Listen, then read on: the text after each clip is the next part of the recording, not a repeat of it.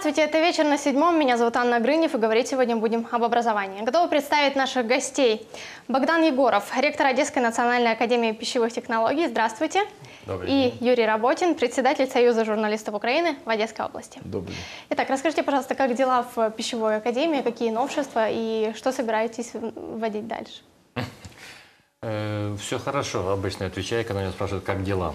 Э, дел много, и на каждом этапе есть своя особенность. Особенность вступительной кампании в этом году, особенность развития на этом этапе нашей жизни. А в целом, могу сказать, что Одесская национальная академия пищевой технологии развивается не просто так и не стихийно. У нас есть план нашего развития, есть концепция нашего развития. И, честно говоря, очень хотелось бы, чтобы у нашего государства, у наших государственных структур были такие концепции и планы. У нас Ну, какие конкретно планы? Можете ну, рассказать? Очень конкретный план. В 2004 году ученый совет нашей академии утвердил концепцию нашего развития и комплексный план на период до 2027 года. А в следующем году мы сейчас ведем работу по подготовке, потому что будет приниматься концепция и план развития на период до 2050 года. Мы хотим понимать, кем мы хотим быть, что нам для этого нужно делать. Мы это делается кто? не коллектив академии. Коллектив и студенты в том числе, да? Естественно, в ученый совет входят 10% наших студентов. Э, То есть мы хотим понимать, кем мы должны быть, кем мы хотим себя видеть, что нам для этого нужно делать. За один день такие решения не приходят. Над этим нужно очень хорошо работать. И всем известно, что хороший план – это эффективное будущее. Поэтому мы хорошо планируем, отсюда и результаты, естественно. И результатом таких планов, вот их выполнения является расширение нашего присутствия в образовательном пространстве. Мы постоянно расширяем количество э, направлений подготовки бакалавров, специальностей для подготовки специалистов-магистров. Э, например, сегодня у нас 21 направление подготовки бакалавров и 42 специальности в магистратуре. При этом всем еще 195 специализаций и программ подготовки. Мы стараемся быстро реагировать на изменения на рынке труда. Нам это ну, несложно делать. Это большая работа, но несложно в каком плане? У нас очень тесные контакты с промышленностью, поэтому то, что сегодня накипает в кавычках в промышленности и требует решения, мы пытаемся воплотить в своих структурных То есть идет национальных активное изменениях, реформирование, чтобы да? ответить адекватно на те требования веления времени, которые возникают. Ну вот а какие реформы вы вводили недавно и чем они отличаются от других учебных заведений, например, других Ну, вузов? Наверное, в следующем. Все учебные заведения, высшие учебные заведения в первую очередь, э, реформа заключается в имплементации закона про высшую освиту, который был принят 6 сентября прошлого года. Но удивительно, что некоторые вещи мы предвосхитили и начали их воплощать гораздо ранее принятия этого закона. Например? Э, Многое. Например, э, изменение модели подготовки от ученической к научной. Э, Например, модель подготовки преподавателя. Не секрет, сегодня это очень большая проблема для всех высших учебных заведений. У нас эта проблема успешно решается, потому что мы занимаемся нашими преподавателями. А каким образом? У нас высшая школа педагогического мастерства, теоретическая подготовка, практическая подготовка и обязательная стажировка на промышленных предприятиях. В течение трех лет один раз обязательно надо пройти стажировку продолжительностью один месяц по две недели в каждом семестре, в осеннем и весеннем, со сдачей экзамена соответствующего. То есть это серьезная работа. Для преподавателей, да? Да. Э, Это серьезнейшая работа, которая дает великолепный результат. Э, Преподаватели понимают А кто же обучает преподавателей? Э, на, на предприятиях наши промышленные партнеры. Это взаимовыгодная программа.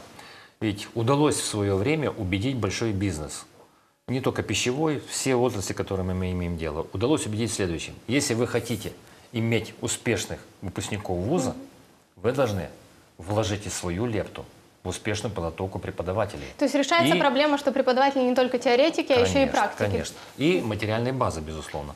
Поэтому подготовкой на предприятии занимаются наставники, занимаются специально выделенные для этого руководители, имеющие большой практический опыт. И это мы начинали с больших холдингов, таких как Небулон, э, как э, Миронский хлебопродукт, S-Engineering и многие другие. Я не буду все перечислять. Но сегодня их перечень – это свыше 300 компаний, корпораций, в составе которых 12 транснациональных корпораций.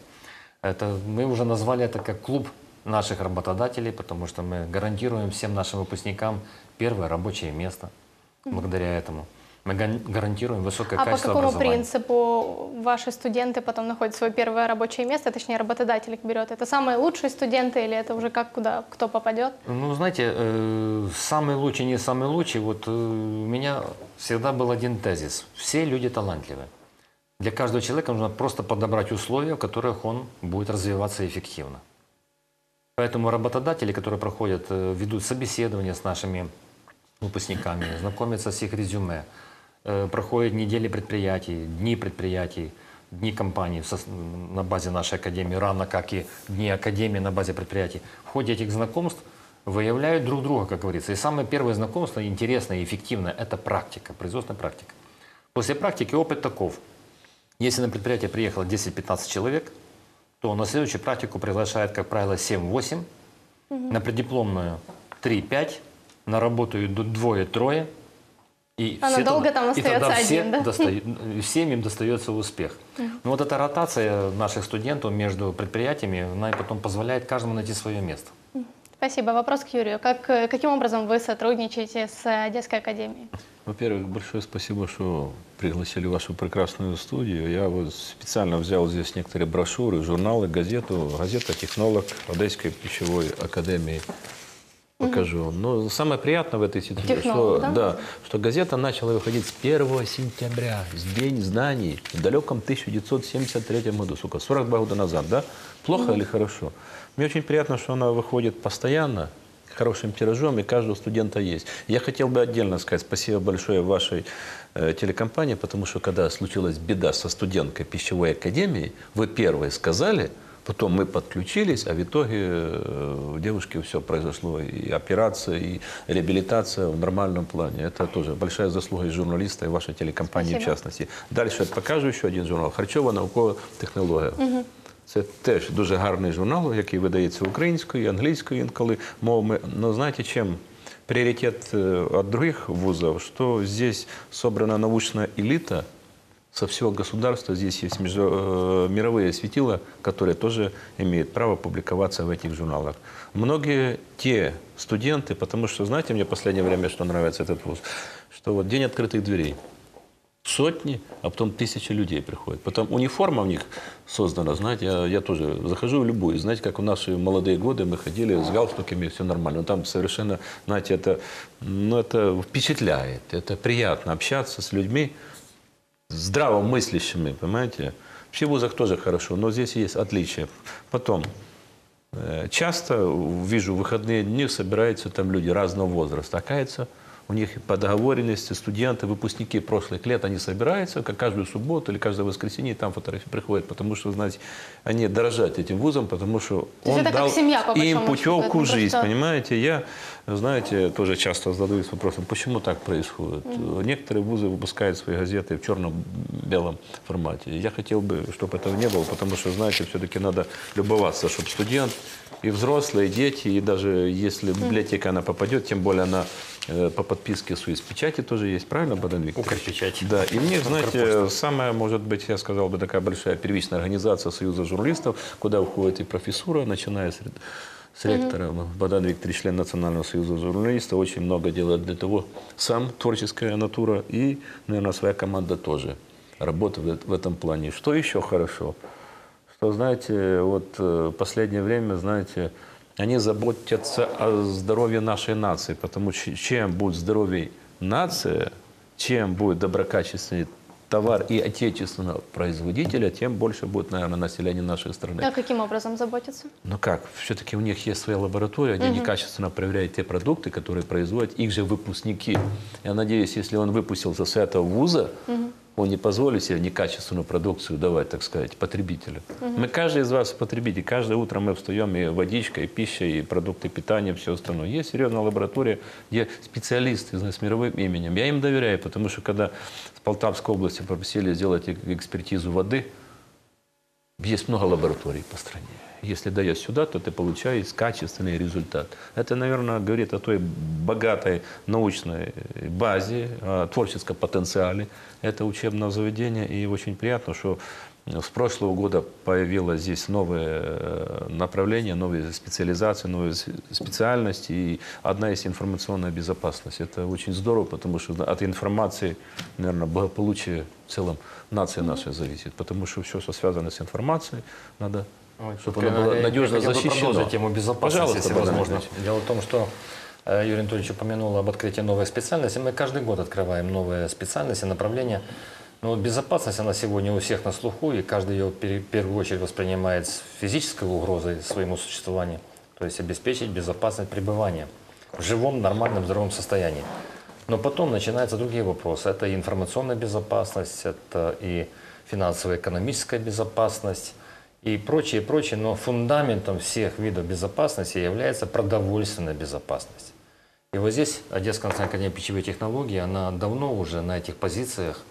Э, Мы не просто пропагандируем, мы просто участвуем в разработке целого ряда программ, проектов, э, настаиваем на принятии тех или иных решений. Некоторые проекты законов мы разрабатывали и принимали самое активное участие, потому что продовольственная безопасность призвана прежде всего обеспечить воспроизводство продовольствия как ресурса, его эффективного хранения, переработки в пищевые и другие продукты и эффективного использования с максимальной целью, максимальной эффективностью для нашей нации.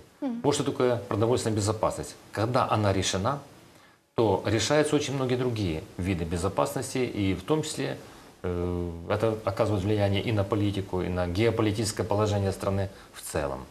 Поэтому мы считаем, что продовольственная безопасность во все времена была важной. Сегодня она является архиважной. И мы делаем все для того, чтобы обеспечить подготовку специалистов в этой области. Кроме того, хочу, спешу сообщить о том, что э, продовольственная безопасность, она во многих аспектах, начиная с качества и обеспечения ресурсами, э, оценивается также и стандартами. Ну, у всех на слуху стандарты ИСО, все наслышаны уже об этом. Мы уже начинаем привыкать к таким стандартам, как ХАСП, то есть управление по критическим точкам. Но нечто новое – это стандарты GMP. GMP как раз стандарты безопасности и прослеживаемости формирования качества безопасного продукта. И вот э, очень интересная новость э, от 29 июня э, при Совете стандартизации э, ЕС было принято решение о включении нашей академии э, в число э, университетов, их всего было пять, мы стали шестыми, которые получили право на проведение сертификации и обучения аудиторов по GMP стандартам. А на для основе чего вы для стран такое право? центральной, для стран Центральной и Восточной Европы. Подчеркиваю, это не только для Украины. Э, Это результат нашей международной деятельности, это результат нашей деятельности образовательной, научной. Мы очень гордимся этим результатом и постараемся оправдать доверие мирового сообщества. Э, Тем А более, что это даст для ваших студентов, для ваших преподавателей? ну, прежде всего, это признание, признание модели подготовки специалистов, это признание нашего авторитета, и это дает возможности э, получить знания по стандартизации совершенно нового, более высокого уровня стандартов, без которого сегодня становится невозможным экспорт нашей продукции, не только продукции, сырья, всего что угодно, за пределы страны, особенно в Европу. То есть вы стараетесь свое образование, как, как говорится, в- идти в ногу со временем, да? Совершенно В верно. отличие от некоторых вузов, которые все-таки еще остаются на, на старом уровне. И... Не будем говорить о других вузах. У нас страна контраста. Вы помните, Нью-Йорк город контраст. У нас страна контраста. У нас есть э, очень некачественное высшее образование, о котором все говорят и потом рекламируют. Вот надо получать образование на Западе и так далее. С другой стороны, у нас есть очень высококачественное образование. И, кстати, немногие одесситы знают о том, что у нас настолько высококачественное образование. Совершенно верно. Поэтому наша миссия, вот мы с Юрием Анатольевичем делаем эту работу, и я благодарен ему, как э, руководителю Союза журналистов в Одесской области, благодарен всем нашим э, коллегам э, телевизионного и радиоцеха, которые помогают нам рассказывать правду о пищевых продуктах. Э, мы с многими каналами снимаем целый ряд передач. Э, Одесса готовит обед, вы знаете, вот есть такая передача. Мы снимали свою передачу э, «Жизнь со вкусом». Сейчас мы хотим возобновить это на нашем телеканале, который мы попытаемся создать уже в интернет-пространстве. То есть идет очень большая работа. Я правильно понимаю, Академия создает свой телеканал.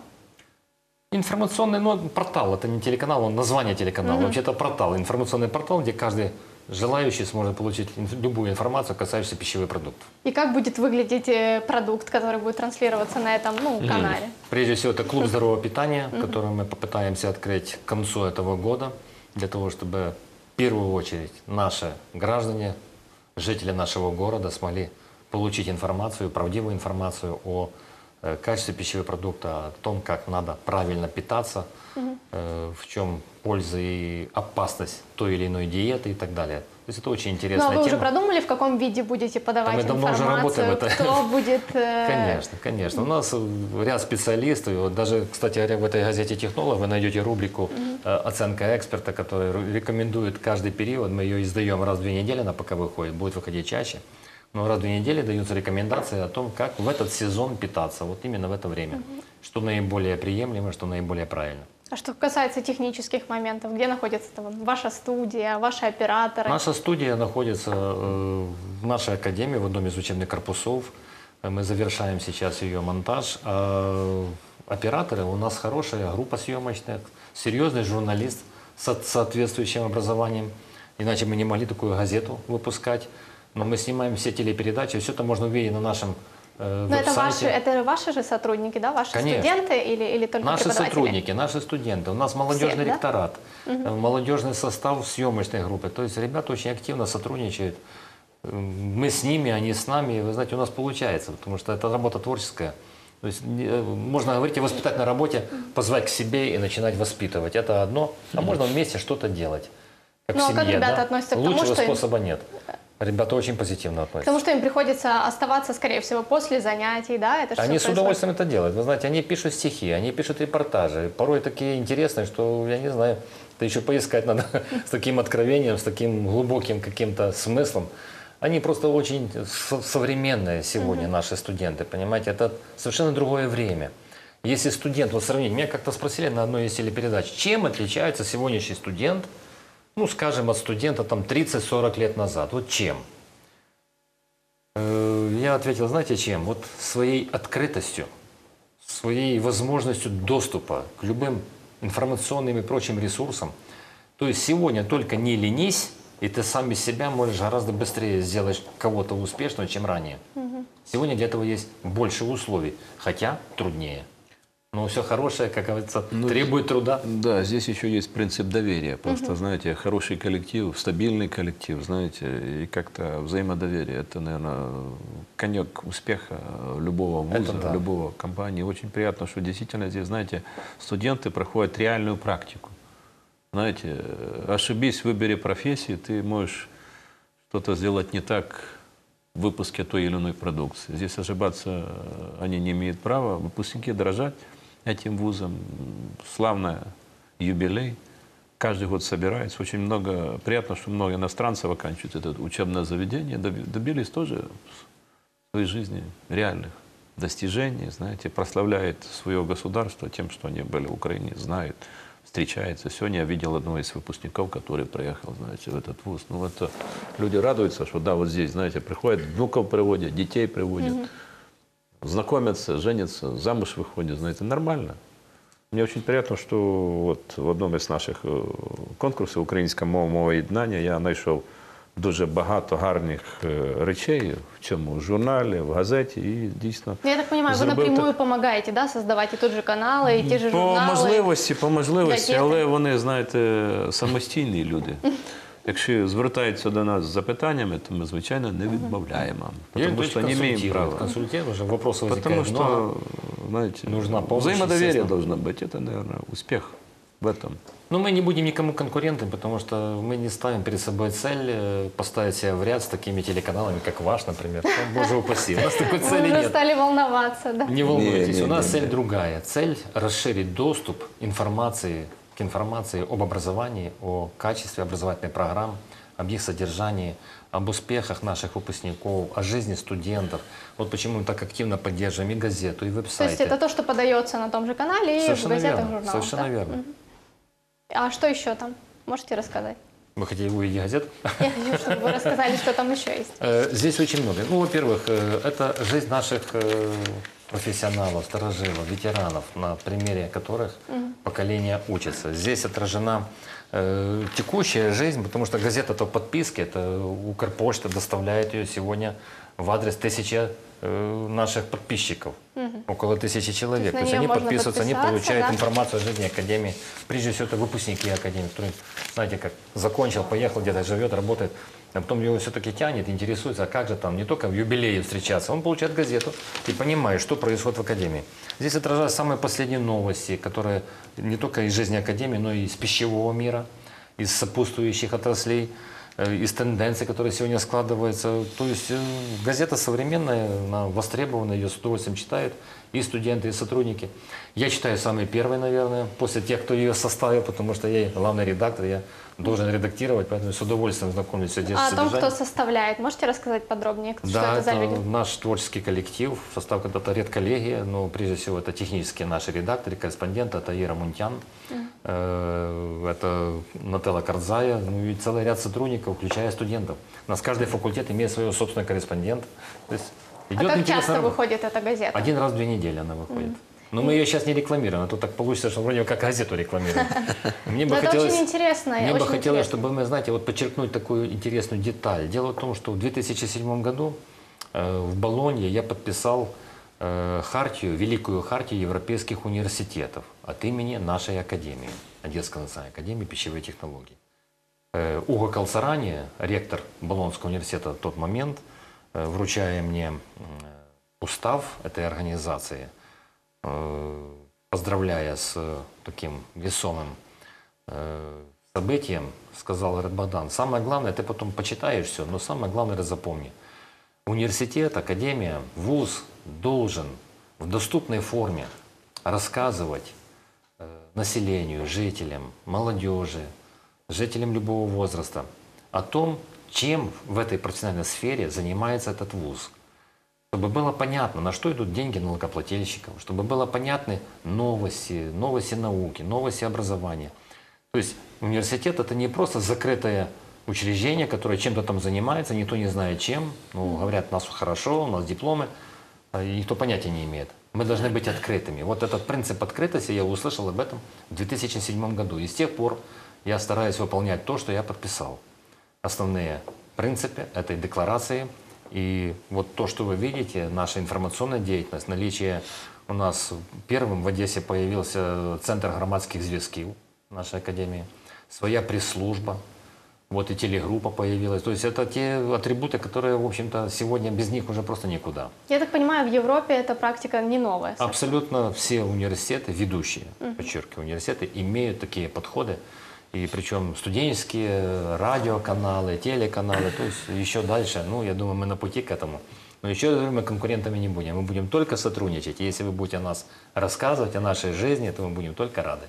Спасибо вам большое. Спасибо за то, что пришли к нам в гости. Я напоминаю, у нас в гостях был Богдан Егоров, ректор Одесской национальной академии пищевых технологий и Юрий Работин, председатель Союза журналистов Украины в Одесской области. Говорили мы об образовании. Счастливо. Счастливо.